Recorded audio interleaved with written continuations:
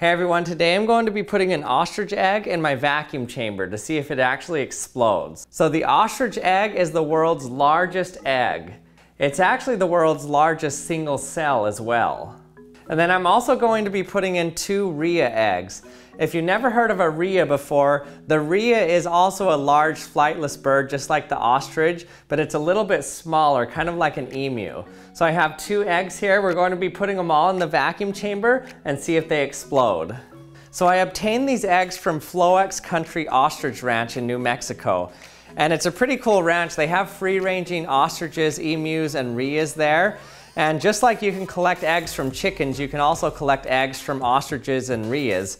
And these are non-fertilized eggs, so it's not like they're going to turn into baby chicks. If they didn't collect them and eat them, they would have just rotted. And also, I'm going to be eating them after the experiment. I'm actually pretty curious how these eggs taste compared to chicken eggs. Okay, so first we're going to be trying the ostrich egg. So an ostrich egg shell thickness is about four times thicker than a chicken egg.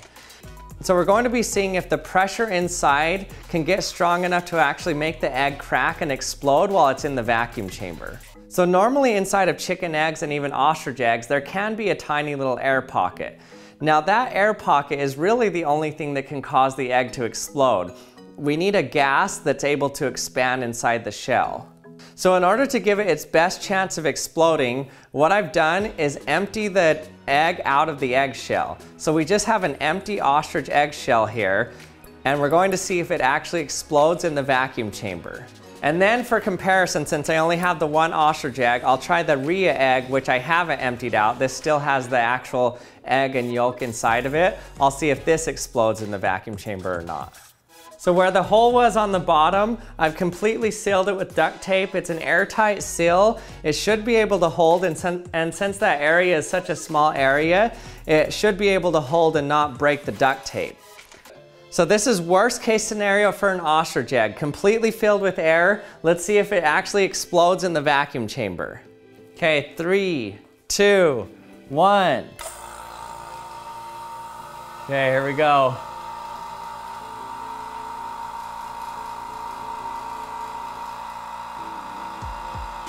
Oh, I'm nervous. Half an atmosphere. The duct tape's still holding on the bottom. Looks like it's holding up so far. So the interesting thing is that eggs are actually permeable to oxygen because that's how when there's a baby chick inside and it needs to grow, it still needs oxygen. So oxygen normally diffuses through the eggshell. So I'm wondering if there's some oxygen or some of the air that's inside diffusing out and that's relieving some of the pressure inside the eggshell. Okay, looks like it didn't explode, but let's let the air back in. Three, two, one.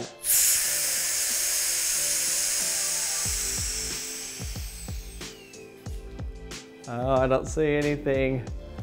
I'm nervous to hold this now though. Take this off, see if we hear a rush of air. Hmm.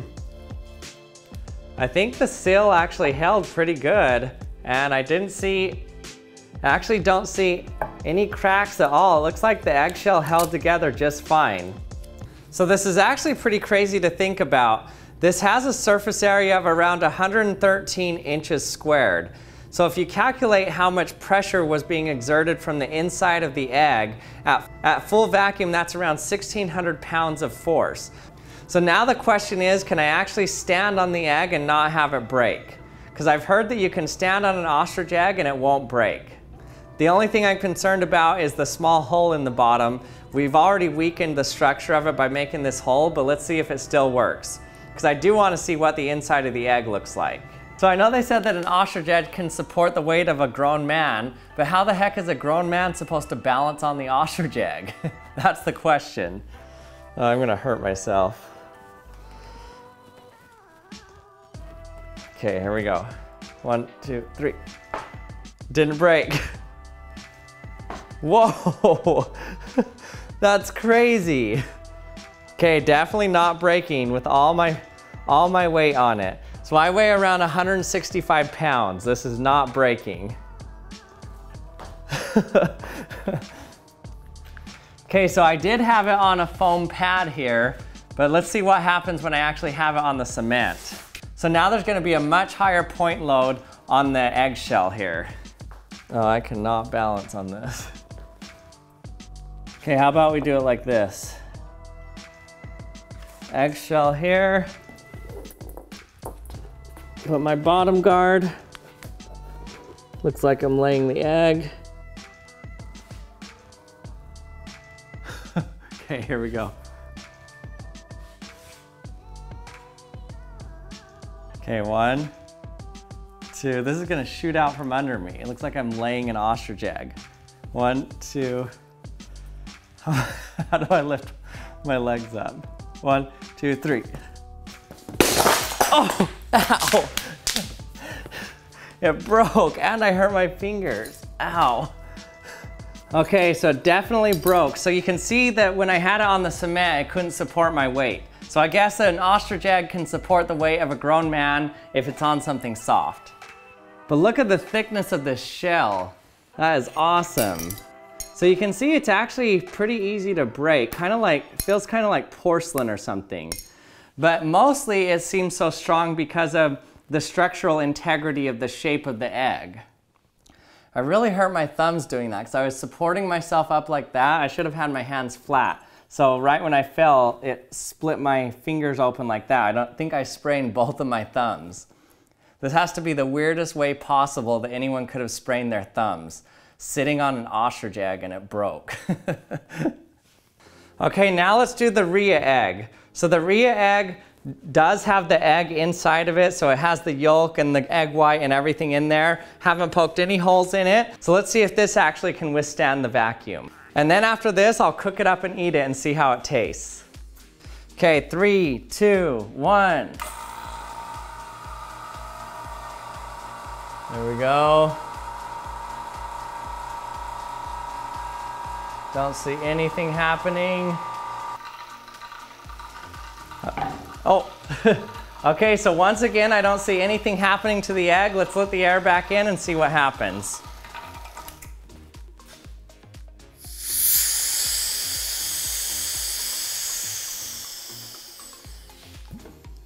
Okay, it seems to have survived just fine.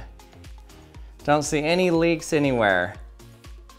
So ostrich eggs, rhea eggs, emu eggs, and even chicken eggs are free to go into space with no problems.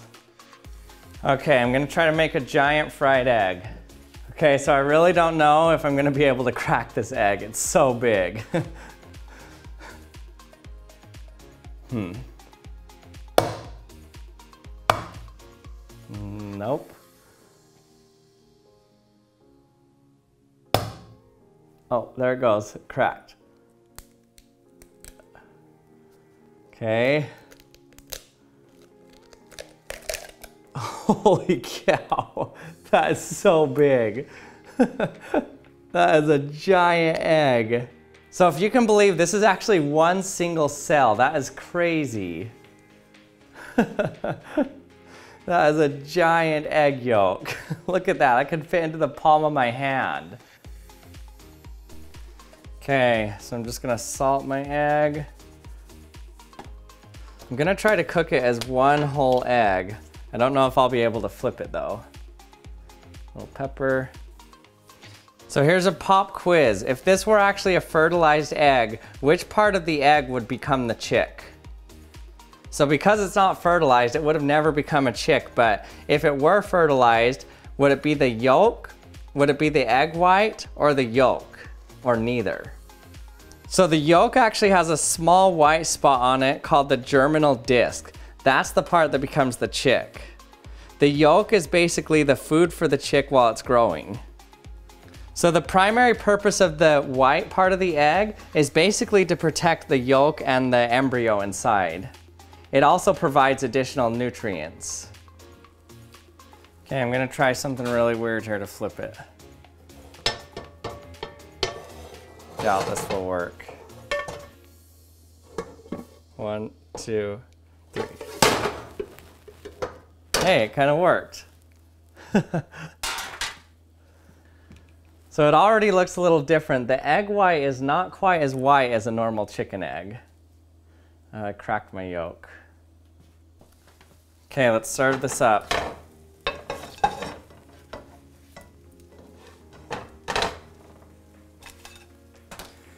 There we go, breakfast of champions right there. I made you breakfast. Wow. Thank you so much. This looks really yummy, and I'm so happy to eat this. Okay, here we go. So this definitely looks weirder than a normal chicken egg.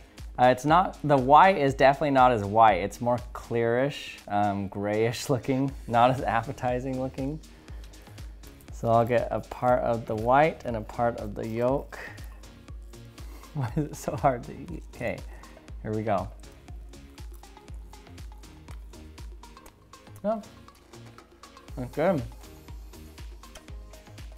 It literally just tastes like an egg. Like exactly like a chicken egg. No different. There's no weird gamey taste or anything. It tastes like an egg. There you have it, folks. Go get your Rhea eggs.